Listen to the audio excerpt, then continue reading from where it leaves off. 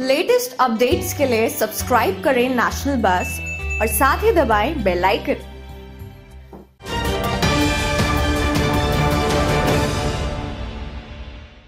पंजाब में चाहे सत्ता में कांग्रेस सरकार है, लेकिन उसके बावजूद कांग्रेसी अपनी सरकार और उसकी कारगुजारी से कितने खुश हैं, इसकी मिसाल तब बटाला में देखने को मिली, जब खुद कांग्रेस पार्टी के स्थानिक नेता सरकार के सीवरेज विभाग के खिलाफ धरना प्रदर्शन पर बैठे देखने को मिले।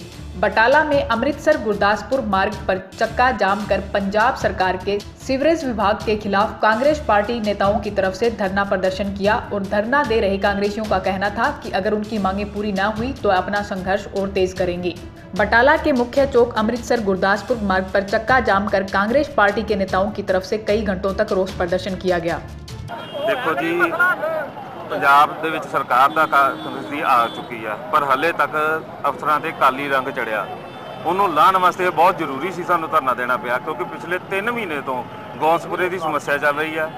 ਇਹ ਐਕਸੀਅਨ ਸਾਹਿਬ ਨੂੰ ਫੋਟੋਆਂ ਦੇ ਰਾਹੀਂ ਵੀ ਜਾਣੂ ਕਰਾਇਆ ਗਿਆ, WhatsApp ਦੇ ਉੱਤੇ ਫੋਟੋਆਂ ਵੀ ਭੇਜੀਆਂ ਕਿ 3 ਮਹੀਨੇ ਹੋ ਗਏ ਲੋਕਾਂ ਦੇ ਘਰ ਦੇ ਅੰਦਰ ਪਾਣੀ ਚਲਾ ਗਿਆ, ਪਰ ਇਹਨਾਂ ਵੱਲੋਂ ਕੋਈ ਵੀ ਕਾਰਵਾਈ ਨਹੀਂ ਕੀਤੀ ਗਈ।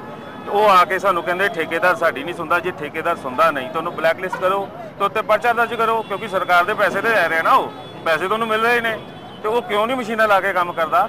ਇਹਦੀ ਇਹਦੇ ਕਰਕੇ ਸਾਨੂੰ ਅੱਜ ਇਕੱਠੇ ਹੋ ਕੇ ਗਾਂਧੀ ਚੌਂਕ 'ਚ ਬਹਿਣਾ ਪਿਆ। ਸਰਕਾਰ ਦੇ ਖਿਲਾਫ ਨਹੀਂ ਆ ਸੀਵਰੇਜ ਬੋਰਡ ਦੇ ਖਿਲਾਫ ਆ। ਇਸ ਵਿਸ਼ਵਾਸਨ ਸਾਨੂੰ ਤਹਿਸੀਲਦਾਰ ਸਾਹਿਬ ਕੋਲ ਦਿੱਤਾ ਗਿਆ ਕਿ ਬਈ ਅਸੀਂ 7 ਦਿਨ ਦੇ ਅੰਦਰ ਇਹ ਕਾਰਵਾਈ ਸਾਰੀ ਕਰਾਵਾਂਗੇ। ਅਗਰ ਇਹ ਕਾਰਵਾਈ ਨਹੀਂ ਹੁੰਦੀ ਤੇ 7 ਦਿਨਾਂ ਬਾਅਦ ਆਪਾਂ ਐਸਐਸਪੀ ਸਾਹਿਬ ਦੇ ਧਰਨਾ ਦੇਵਾਂਗੇ ਤੇ ਉੱਥੇ ਪਰਚਾ ਦਰਜ ਕਰਾਵਾਂਗੇ ਠੇਕੇਦਾਰ ਦੇ ਉੱਤੇ ਜਿਹੜਾ ਇਹ ਕੰਮ ਨਹੀਂ ਕਰ ਰਿਹਾ। ਇਹ ਸਤਿਕਾਰਯੋਗ ਅੱਜ ਜਿਹੜਾ ਕਾਂਗਰਸ ਪਾਰਟੀ ਨੂੰ ਧਰਨਾ ਦੇਣਾ ਪਿਆ ਵਾ ਸ਼ਹਿਰ ਦੇ ਵਿੱਚ ਸੀਵਰੇਜ ਜਿਹੜੇ ਆ ਟੋਟਲ ਬੰਦ ਪਏ ਆ। ਭਾਵੇਂ ਆਲੀਵਾਰ ਰੋਡ ਹੋਵੇ ਤੇ ਭਾਵੇਂ ਧਰਮਪੁਰਾ ਕਲੋਨੀ ਹੋਵੇ ਆ ਤਹਿਸੀਲ ਸਾਹਿਬ ਦੱਸ ਕੇ ਗਏ ਆ ਸਾਡੇ ਵੀ ਸੀਵਰੇਜ ਗੁਰੂ ਰਾਮਦਾਸ ਕਲੋਨੀ ਦਾ ਬੰਦ ਆ। ਇਹ ਕਰਕੇ ਅਸੀਂ ਕਾਂਗਰਸੀ ਹੋਣ ਦੇ ਨਾਤੇ ਸਰਕਾਰ ਦੇ ਬੰਦਿਆਂ ਦੇ ਖਿਲਾਫ ਧਰਨਾ ਦੰਨੇ ਪਏ ਆ। ਇਹ ਕੋਈ ਚੰਗੀ ਗੱਲ ਤਾਂ ਨਹੀਂ ਸੀ ਹੈਗੀ ਮਗਰ ਮਜਬੂਰ ਹੋਣਾ ਪਿਆ ਵਾ। ਅਗਰ ਸਾਨੂੰ ਹੋਰ ਵੀ ਧਰਨਾ ਕਿਤੇ ਲਾਣਾ ਪਿਆ ਚੰਡੀਗੜ੍ਹ ਚਾਰ ਇਹ ਲਾਣਾ ਪਿਆ ਸ਼ਹਿਰ ਦੇ ਲੋਕਾਂ ਵਾਸਤੇ ਅਸੀਂ ਉੱਥੇ ਵੀ ਲਾ ਦੇਣਾ ਜੇ ਪਰਵਾਹ ਨਹੀਂ ਕਰਨੀ। ਅਸੀਂ ਭਵਾ ਕਾਂਗਰਸੀ ਆ ਮਗਰ ਧਰਨੇ ਦੇ ਵਿੱਚ ਲੋਕਾਂ ਨੂੰ ਫੈਸਿਲਿਟੀ ਨਾ ਮਿਲੇ, ਸਰਕਾਰ ਅਸੀਂ ਕਾਹਦੇ ਲਈ ਬਣਾਈ ਆ? ਜੇ ਸਰਕਾਰ ਨੂੰ ਨੇ ਲੋਕਾਂ ਨੂੰ ਫੈਸਿਲਿਟੀਆਂ ਨਹੀਂ ਦੇਣੀਆਂ, ਇਹ ਜਿੰਨਾ ਵੀ ਕੰਮ ਹੈਗਾ ਵਾ, ਅਸੀਂ ਨੇਜ ਮਹਾਜਨ ਨੂੰ ਵੀ ਕਿਹਾ ਵਾ, ਮਹਾਜਨ ਸਾਹਿਬ, ਤੁਸੀਂ ਤਗੜੇ ਹੋਵੋ, ਅਸੀਂ ਤੁਹਾਡੇ ਨਾਲ ਆ, ਜੇ ਤੁਹਾਡੇ ਕਹਿਣੇ ਸੀਵਰੇਜ ਬੋਰਡ ਨਹੀਂ ਲੱਗਦਾ ਤੇ। ਸ਼ਹਿਰ ਨੇ ਤੇ ਸੀਵਰੇਜ ਬੋਰਡ ਨੇ, ਮਹਾਜਨ ਨਾਮ ਨੂੰ ਕਹਿਣਾ ਆ ਕੇ। ਜੇ ਉਹ ਨਹੀਂ ਆਖੇ ਲੱਗਦਾ, ਤੇ ਫਿਰ ਸਾਡੇ ਨਾਲ ਲੱਗ, ਅਸੀਂ ਵੀ ਧਰਨਾ ਦਿੰਨੇ ਆ ਤੇਰੇ ਨਾਲ, ਜਿਹਦੇ ਨਾਲ ਲੋਕਾਂ ਨੂੰ ਜਿਹੜੀ ਫੈਸਿਲਿਟੀ ਮਿਲ ਸਕੇ ਜਾਂ ਇਹਨਾਂ ਨੂੰ ਸਸਪੈਂਡ ਕੀਤਾ ਜਾਵੇ ਜਾਂ ਇਹਨਾਂ ਦਾ ਹਿਸਾਬ ਲਿੱਤਾ ਜਾਵੇ ਸੀਬੀਆਈ ਨੂੰ ਕਹੋ, ਇਹਨਾਂ ਦਾ ਹਿਸਾਬ ਲਵੋ ਕਿੰਨਾ ਕੰਮ ਕੀਤਾ, ਠੇਕੇਦਾਰੀ ਚਲਾ ਲੈਂਦੇ ਆ, ਮੁੜ ਕੇ ਕੰਮ ਕਰਦੇ ਨਹੀਂਗੇ ਕੰਮ ਕਰਨ ਤੋਂ ਬਾਅਦ ਮੁੜ ਕੇ ਠੇਕੇਦਾਰ ਆਪੋ ਆਪਣਾ ਕੰਮ ਕਰਦੇ ਆ, ਨਾ ਤੇ ਲੋਕਾਂ ਨੂੰ ਤੰਗਾਵਾਂ ਪੂਰੀਆਂ ਦਿੰਦੇ ਆ।